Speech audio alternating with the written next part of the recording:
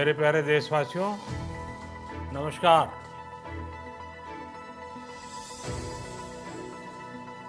Corona वैश्विक महामारी के खिलाफ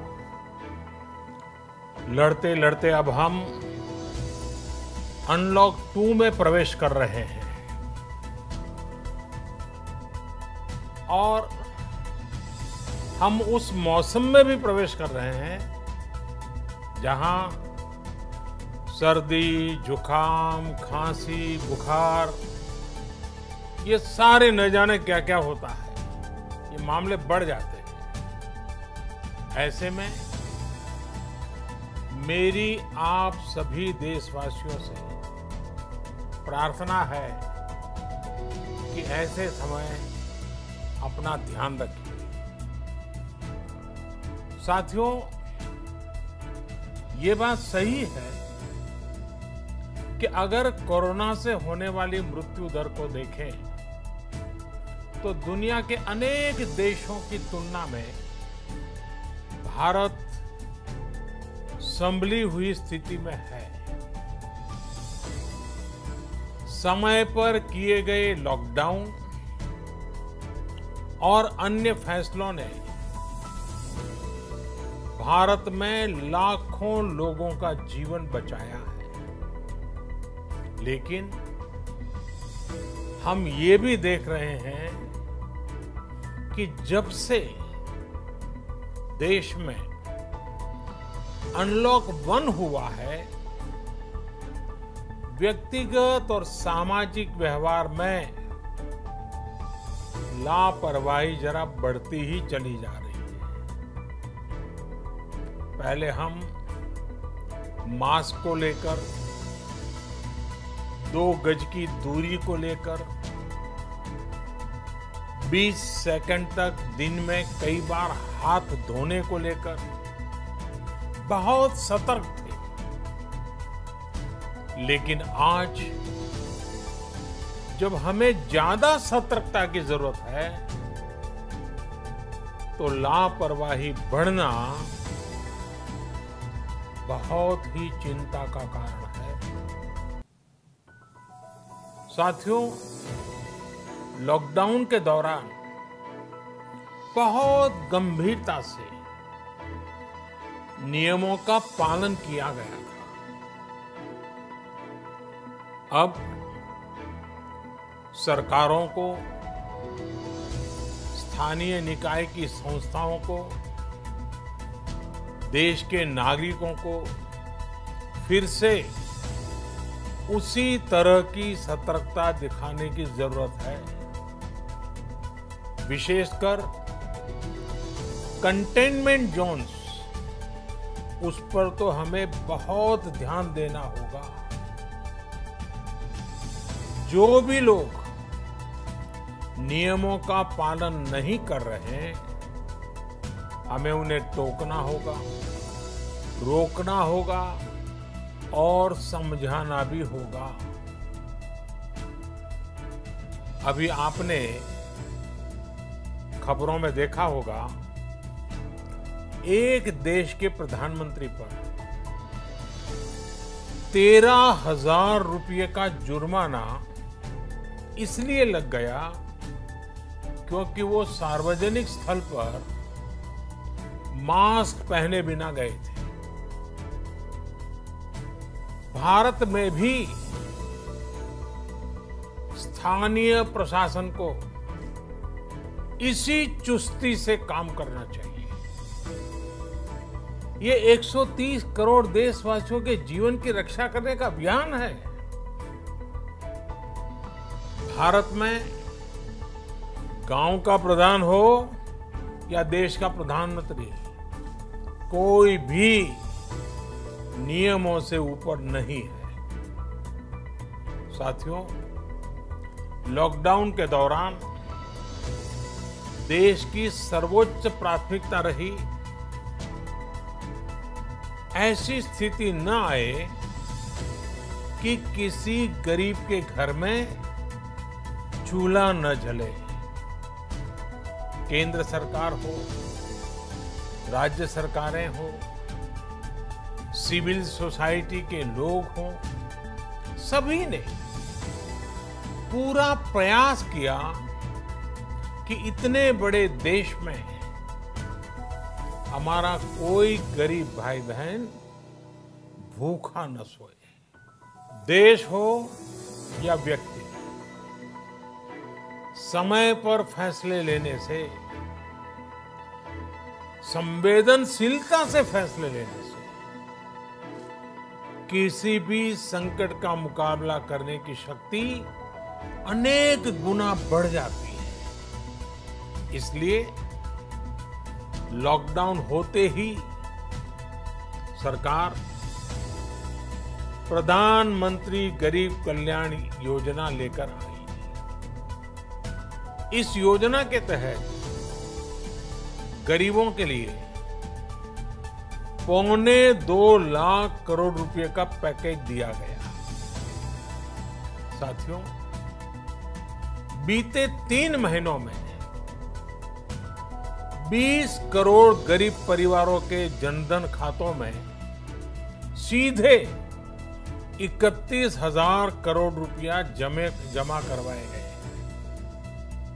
इस दौरान 9 करोड़ से अधिक किसानों के बैंक खातों में अठारह हज़ार करोड़ रुपए जमा हुए हैं। इसके साथ ही गाँवों में श्रमिकों को रोज़गार देने के लिए प्रधानमंत्री गरीब कल्याण रोज़गार अभियान तेज गति से आरंभ कर दिया गया है।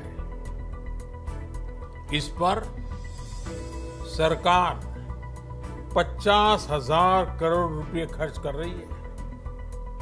लेकिन साथियों, एक और बड़ी बात है,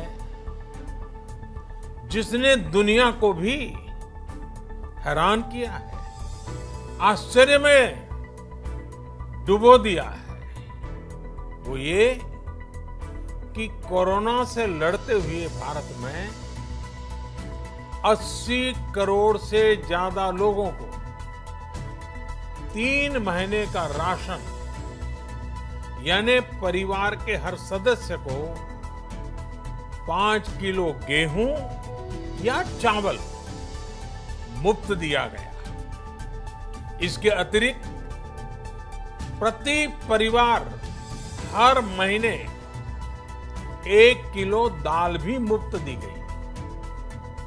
यानी एक तरह से देखें तो अमेरिका की कुल जनसंख्या से ढाई गुना अधिक लोगों को। ब्रिटेन की जनसंख्या से 12 गुना अधिक लोगों को और यूरोपियन यूनियन की आबादी से लगभग दो गुने से ज़्यादा लोगों को हमारी सरकार ने मुफ़्त अनाज दिया है। साथियों, आज मैं इसी से जुड़ी एक महत्वपूर्ण घोषणा करने जा रहा हूँ। साथियों, हमारे यहाँ वर्षा ऋतु के दौरान और उसके बाद मुख्य तौर पर कृषि क्षेत्र में, एग्रीकल्चर सेक्टर में ही ज़्यादा काम है अन्य दूसरे सेक्टरों में थोड़ी सुस्ती रहती है। जुलाई से धीरे धीरे त्योहारों का भी माहौल बनने लगता है। अब आप देखिए, अभी पाँच जुलाई को गुरु पूर्णिमा है। फिर सावन शुरू हो रहा है। फिर पंद्रह अगस्त आएगी, रक्षाबंधन आएगा, कृष्णा जन्माष्टमी आएगी, गणेश चतुर्थी आएगी, ओणम होगा। और आगे जाएँ तो काटी बिहू है, नवरात्रि है, दुर्गा पूजा है, दशहरा है, दीपावली है, छठी मैया की पूजा है।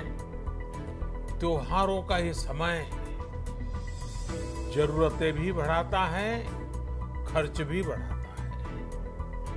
इन सभी बातों को ध्यान में रखते हुए ये फैसला लिया गया है कि प्रधानमंत्री गरीब कल्याण अन्न योजना का विस्तार, अब दिवाली और छठ पूजा तक, यानी नवंबर महीने के आखिर तक कर दिया जाएगा। यानी 80 करोड़ लोगों को मुफ़्त अनाज देने वाली ये योजना अब जुलाई, अगस्त, सितंबर, अक्टूबर, नवंबर में भी लागू रहेगी।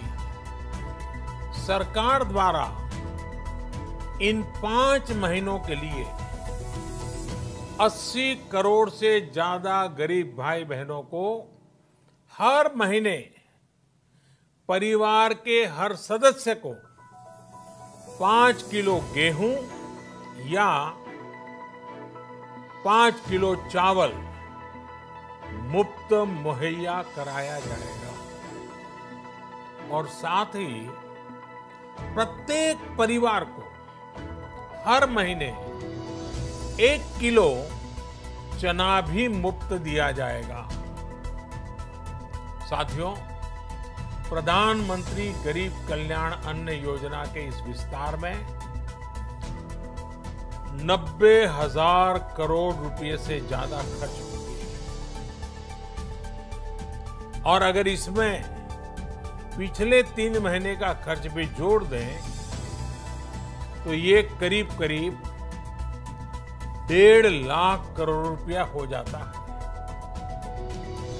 अब पूरे भारत के लिए हमने एक सपना देखा है। कई राज्यों ने तो बहुत अच्छा काम भी किया है।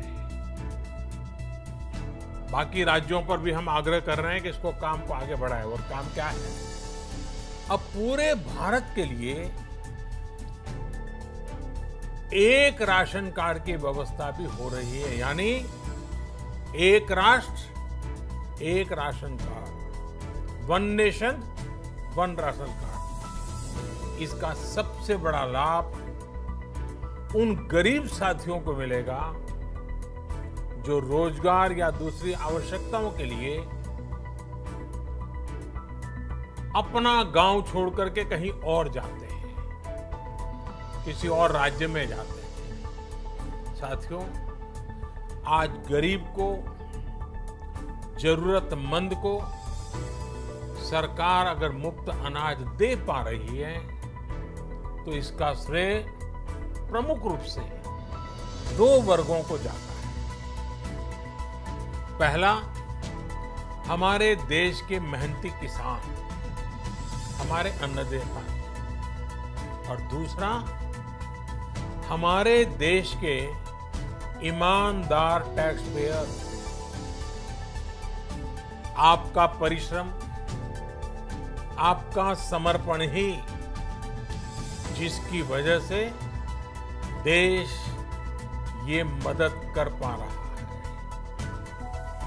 आपने देश का अन्न भंडार भरा है, इसलिए आज गरीब का, श्रमिक का चूल्हा जल रहा है।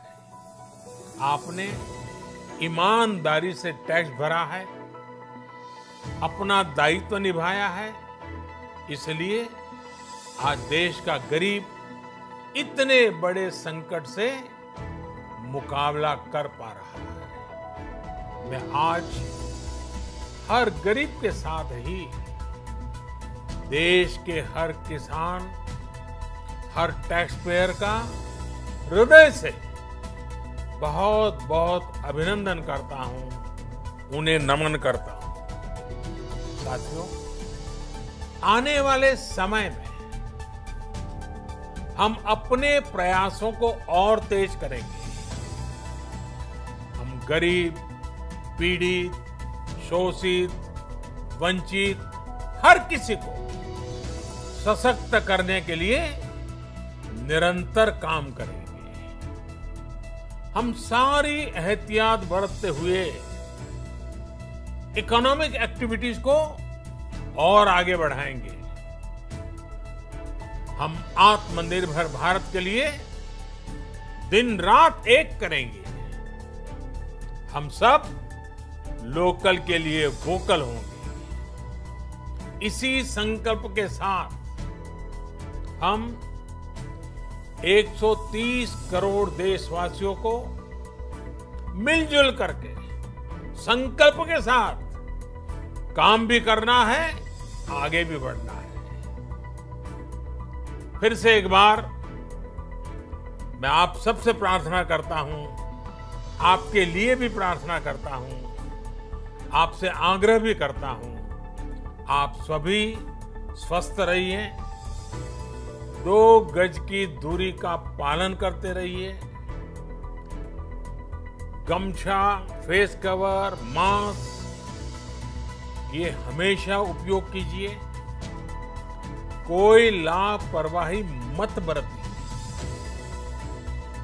इसी आग्रह, इसी कामना के साथ मैं आप सभी को बहुत बहुत शुभकामनाएँ देता हूँ। धन्यवाद।